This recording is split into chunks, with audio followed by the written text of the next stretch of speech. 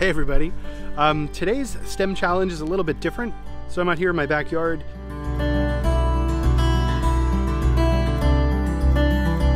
Um, today I want us to do an Andy Goldsworthy style art piece. So it's a little STEMmy, but a little arty, but at the same time connected to nature and connected to the outdoors. So it's a relatively sunny day considering the past couple of days that we've had have been kind of overcast and a little miserable. So it's nice weather. So I'm outside and I thought it'd be a great idea. So I did one, I'll show you at the end of this video. Um, but here's a couple of examples of Andy Goldsworthy's work um, and a photo of him. And then I'll show you mine as well.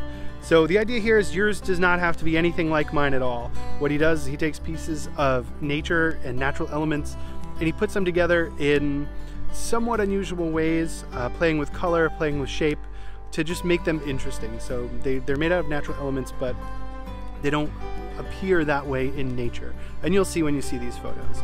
Um, so try one at home, take a picture of it. If you want to make a video of it, go for it. Do whatever you can, but um, try to share it with us. Uh, the fun that I've had with these are, are getting students um, work back to me. So when I see a student's photo or video of one of these challenges, it's really kind of neat and interesting to see. So I've got a lot of really good responses so far. So uh, feel free to join in with the other students that are sending things to me on a daily basis and I will look it over and um, that's it pretty much. Have a great day.